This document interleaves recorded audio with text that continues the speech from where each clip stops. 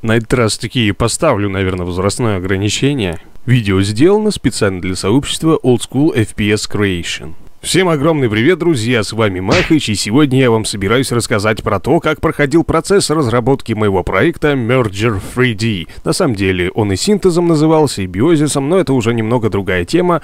А пока вернемся в июнь 2014 года. Я только тогда пришел в сообщество РГМщиков, то самое старое сообщество, и решил показать свою первую подделку на этом конструкторе под названием Space Guy. Подобный проектик я начал ради того, чтобы нащупать возможности конструктора. И сказать по правде, они меня вполне на то время удовлетворили. Значит, я примусь за новый проект. И это будет, конечно же, Space Guy 2. Ну а в целом обе игрушки вышли достаточно посредственные, чего и стоило ожидать от первого проекта на данном конструкторе.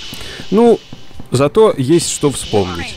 Само собой, в данном случае не забуду упомянуть про третью часть, которую делал не я, а Фред Ричи. Я участвовал там довольно вторично, но все равно третья часть затмевает первые две и как бы достойна того, чтобы в нее поиграли, если кто-то не поиграл до сих пор. Примерно в сентябре 2014 года я начал делать свой следующий проект на данном конструкторе, и назывался он Cyber Utopia 3D. И тут, конечно, я за все взялся достаточно основательно. Начал стараться пилить текстуры 64 на 64, когда в Space Guy втором и первом были 32 на 32 разрешением. Ух, ёпти, думал я, сейчас я сделаю проект, который затмит все предыдущие проекты на данном конструкторе.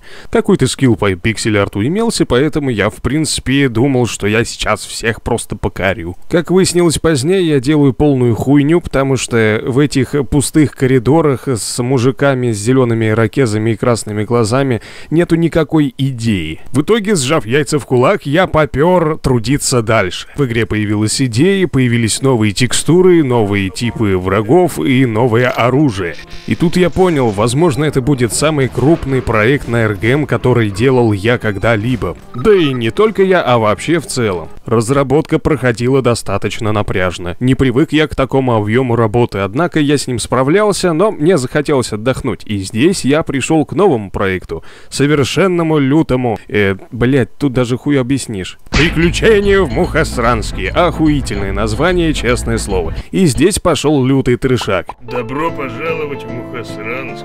Самое доброе место на планете. Пошел! Что по мелочи. Пошел ты! Пошел ты! Ну чё, смешно, да?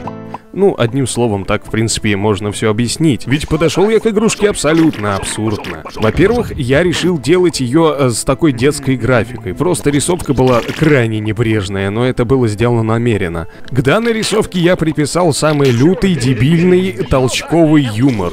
Или сортирный, как его называют. Я называю толчковый. То, что получается в итоге, на удивление, мне понравилось. И понравилось некоторым чувакам, которым я скидывал ее. Кстати, это был где-то апрель 2015 -го, а вот в мае я взялся уже за ремейк. Как бы отполированную версию с нормальной графикой и вообще с допустимым дизайном уровней. Какого хуя здесь столько народу?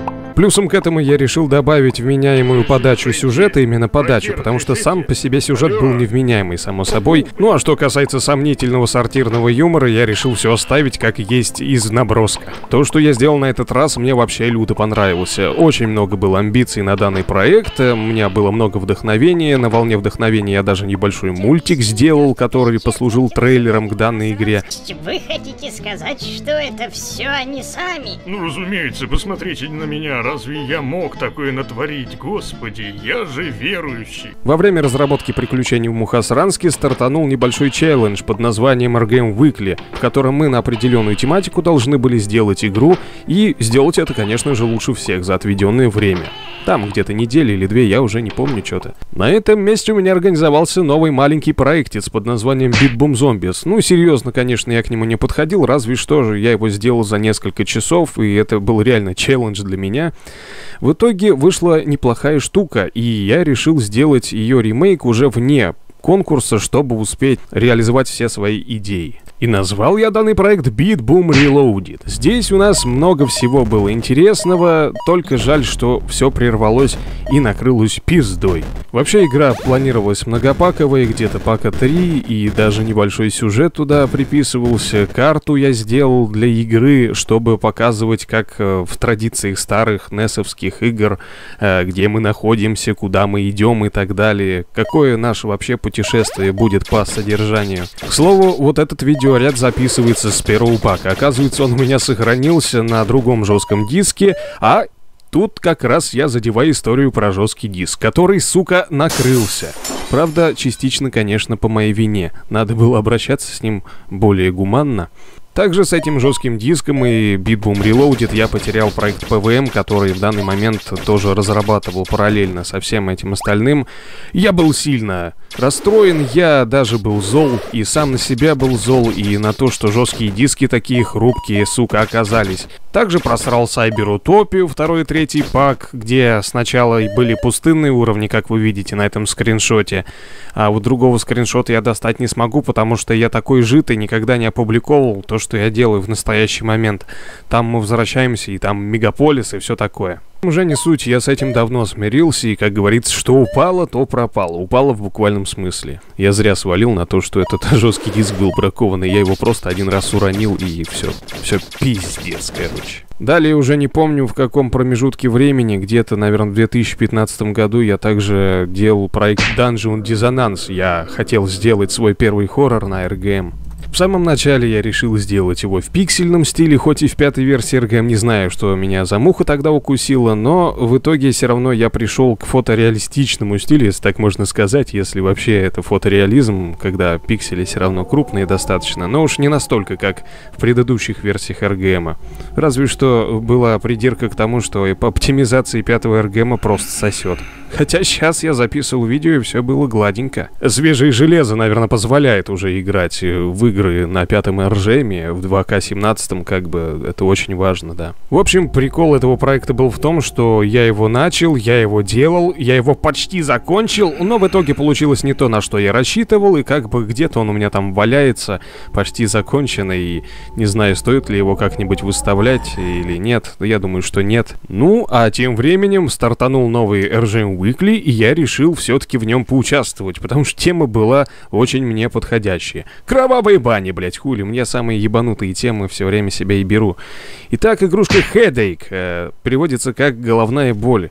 Э, на самом деле я ее и делал с головной болью, и это действительно было так. У меня тогда была жуткая мигрень, у меня бывает такое, вот. Но в итоге получился продукт вполне годный, судя по отзывам чуваков, которые в нее играли. Так что, видимо, проект зашел. Ну, тут жалко только то, что я не успел реализовать, опять же, все свои идеи в этом проекте. Но и хуй с ним. Ну и, наконец-то, мы приближаемся к гвоздю сегодняшней программы, если, конечно, так можно выразиться. Это у нас э, мерсин... Биозис, блять. Биозис, сука. Идея данного проекта заключалась в том, что мы ходим, расстреливаем каких-то непонятных мутантов, а между этими миссиями мы иногда потрахиваем женщин. Ну и в принципе это все. Это, кстати, была не шутка. Но далее я приступил к чему-то более серьезному. Я подумал, что данный проект, он слишком дерьмовый, ну вообще юмор был там полное говно по сравнению, особенно с приключениями в Мухосранске, хоть там и был толчковый юмор, но здесь вообще было полное атас. Вы только послушайте это. О, я чувствую себя заебись. Одна фраза оригинальнее другой, блядь. Дюк Нюким нервно курит в сторонке. Ну и хуй с этим дерьмом, потому что далее я изменил этот проект до неузнаваемости в тот вид, в котором все сейчас его знают. Это Merger 3D сейчас под этим видом, но на самом деле я еще тогда назвал проект Synthes 3D. Это как бы была бесплатная версия для тех, кто хочет ознакомиться с игрой. Ну и к синтезу я уже приступил достаточно основательно. Я начал рисовать всякие эскизы в э, тетрадках, листочках, блять, сколько их у меня было, уже все растерял к чертовой матери. Идею придумал на листке, там расписал какое-то подобие сюжета и все прочее. Короче, готовился как мог. Я до сих пор заглядываю в папку Synthes 3D, где содержатся все ресурсы, используемые в игре, охуеваю, блядь, на их количествах, это во-первых. А во-вторых, э, блядь, на то количество ресурсов, которое даже не использовалось в игре. Я даже небольшую утилиту на гамаке написал, чтобы разделять один большой э, лист текстур на отдельные текстурки 64 на 64. Правда, я где-то проебать уже успел, но, э, в принципе, ее написать недолго. Целью разработки данного проекта у меня являлось то, что я должен выжить просто максимум из одного пака RGM. И как только я выпустил Synthesis 3D, меня нашел издатель, который предложил, а давай эту игрушку выпустим на Steam. И я такой подумал, ну, вроде как Wolfenstein же на Steam валяется, давай попробуем, запустим проект э, в коммерческую среду.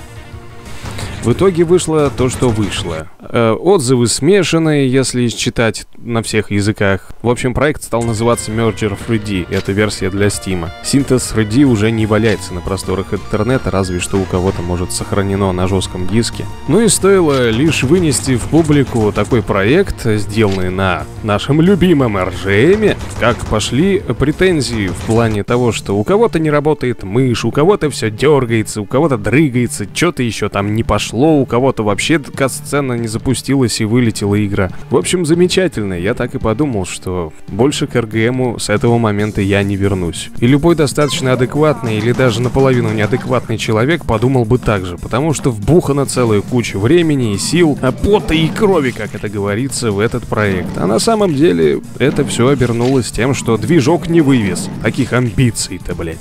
Поймите меня правильно, одно дело, когда вы используете готовые ресурсы, а уже совершенно другое дело, когда вы даете каждому пикселю, который вы поставили своей мышкой, и, возможно, даже мышку сломали, пока делали это все, свое имя, фамилию, отчество. Ладно, утрирую, на самом деле это метафора такая, но это не важно. В принципе, суть ясна. Так что вот, друзья мои, вот такая вот у меня была история. История одного РГМщика. Уже бывшего, можно сказать, потому что больше я к нему точно не вернусь. Возможно, этот рассказ получился достаточно скомканным, сумбурным, но я серьезно старался. Я не скилловый видеомейкер, чтобы тут пилить такие вот двухкилометровые тексты, сюжеты. Я все рассказывал по ходу дела, так что я серьезно, я старался, так что попрошу вас поставить лайк, там подписаться на канал, кому интересно подписаться на сообщество Old School FPS Creation, ссылочка в описании.